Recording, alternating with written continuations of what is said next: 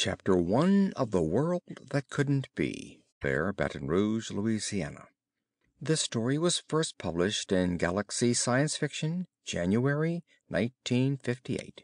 The World That Couldn't Be by Clifford D. Simak Chapter I The tracks went up one row and down another, and in those rows the vua plants had been sheared off an inch or two above the ground. The raider had been methodical. It had not wandered about haphazardly, but had done an efficient job of harvesting the first ten rows on the west side of the field. Then, having eaten its fill, it had angled off into the bush. And that had not been long ago, for the soil still trickled down into the great pug marks sunk deep into the finely cultivated loam. Somewhere a sawmill bird was whirring through a log, and down in one of the thorn choked ravines a choir of chatterers was clicking through a ghastly morning song. It was going to be a scorcher of a day. Already the smell of desiccated dust was rising from the ground and the glare of the newly risen sun was dancing off the bright leaves of the hula trees making it appear as if the bush were filled with a million flashing mirrors. Gavin Duncan hauled a red bandana from his pocket and mopped his face. "No, mister," pleaded Zikkara, the native foreman of the farm. "You cannot do it, mister. You do not hunt a Cytha." "The hell I don't," said Duncan, but he spoke in English and not the native tongue. He stared out across the bush, a flat expanse of sun cured grass interspersed with thickets of hula scrub and thorn and occasional groves of trees, crisscrossed by treacherous ravines and spotted with infrequent water holes. It would be murderous out there, he told himself, but it shouldn't take too long. The beast probably would lay up shortly after its pre dawn feeding and he'd overhaul it in an hour or two. But if he failed to overhaul it, then he must keep on. "Dangerous," Zikkara pointed out. "No one hunts the Cytha." "I do," Duncan said, speaking now in the native language. "I hunt anything that damages my crop. A few nights more of this and there would be nothing left." Jamming the bandana back into his pocket, he tilted his hat lower across his eyes against the sun. "It might be a long chase, mister. It is the scone season now. If you were caught out there " "Now listen," Duncan told it sharply. "Before I came, you'd feast one day, then starve for days on end. And now you eat each day. And you like the doctoring. Before, when you got sick, you died. Now you get sick, I doctor you, and you live. You like staying in one place instead of wandering all around." "Mister, we like all this," said Zikkara, "but we do not hunt the Cytha."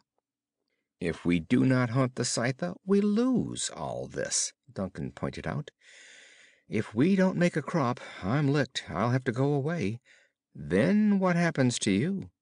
"We will grow the corn ourselves." "That's a laugh," said Duncan, "and you know it is. If I didn't kick your backsides all day long you wouldn't do a lick of work. If I leave, you go back to the bush. Now let's go and get that Cytha." "But it is such a little one, mister. It is such a young one. It is scarcely worth the trouble. It would be a shame to kill it." Probably just slightly smaller than a horse, thought Duncan, watching the native closely. It's scared, he told himself. It's scared dry and spitless. Besides, it must have been most hungry. Surely, mister, even a Cytha has the right to eat. Not from my crop, said Duncan savagely. You know why we grow the vua, don't you? You know it is great medicine. The berries that it grows cures those who are sick inside their heads. My people need that medicine, need it very badly. And what is more, out there, he swept his arm toward the sky, Out there they pay very much for it." "But, Mister " "I tell you this," said Duncan gently. "You either dig me up a bush runner to do the tracking for me, or you can all get out, the kit and caboodle of you. I can get other tribes to work the farm." "No, Mister!" Zikkara screamed in desperation. "You have your choice," Duncan told it coldly. He plodded back across the field toward the house. Not much of a house as yet. Not a great deal better than a native shack. But some day it would be, he told himself. Let him sell a crop or two and he'd build a house that would really be a house. It would have a bar and swimming pool and a garden filled with flowers, and at last, after years of wandering, he'd have a home and broad acres and everyone not just one lousy tribe would call him Mister. Gavin Duncan, planter, he said to himself, and liked the sound of it. Planter on the planet Lanyard. But not if the Cytha came back night after night and ate the vua plants. He glanced over his shoulder and saw that Zikkara was racing for the native village. Call their bluff, Duncan informed himself with satisfaction. He came out of the field and walked across the yard, heading for the house. One of Shotwell's shirts was hanging on the clothesline, limp in the breathless morning. Damn the man, thought Duncan. Out here mucking around with those stupid natives, always asking questions, always underfoot. Although, to be fair about it, that was Shotwell's job. That was what the sociology people had sent him out to do. Duncan came up to the shack, pushed the door open and entered. Shotwell, stripped to the waist, was at the wash bench. Breakfast was cooking on the stove, with an elderly native acting as cook. Duncan strode across the room and took down the heavy rifle from its peg. He slapped the action open, slapped it shut again. Shotwell reached for a towel. "What's going on?" he asked. "Cytha got into the field." "Cytha?"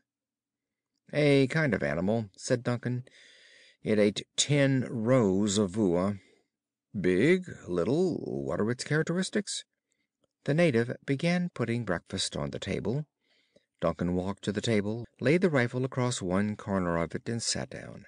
He poured a brackish liquid out of a big stew pan into their cups. God, he thought, what I would give for a cup of coffee. Shotwell pulled up his chair. "You didn't answer me. What is a Cytha like?" "I wouldn't know," said Duncan. "Don't know? But you're going after it, looks like, and how can you hunt it if you don't know "Track it. The thing tied to the other end of the trail is sure to be the Cytha. We'll find out what it's like once we catch up with it." "We?" "The natives will send up someone to do the tracking for me. Some of them are better than a dog." "Look, Gavin, I've put you to a lot of trouble and you've been decent with me. If I can be any help I would like to go." "Two make better time than three. And we have to catch this Cytha fast or it might settle down to an endurance contest." Uh, "All right, then. Tell me about the Cytha." Duncan poured porridge gruel into his bowl, handed the pan to Shotwell. "It's a sort of special thing. The natives are scared to death of it. You hear a lot of stories about it. Said to be unkillable. It's always capitalized, always a proper noun. It's been reported at different times from widely scattered places." "No one's ever bagged one?" "Not that I've heard of." Duncan patted the rifle. Let me get a bead on it." He started eating, spooning the porridge into his mouth, munching on the stale corn bread left from the night before. He drank some of the brackish beverage and shuddered. "Some day," he said, "I'm going to scrape together enough money to buy a pound of coffee.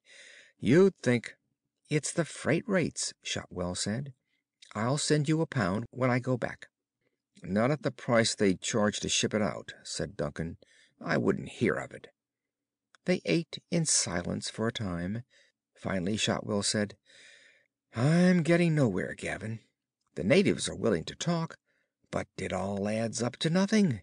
I tried to tell you that. You could have saved your time." Shotwell We hope you enjoyed this preview. To continue listening to this audiobook on Google Play Books, use the link in the video description.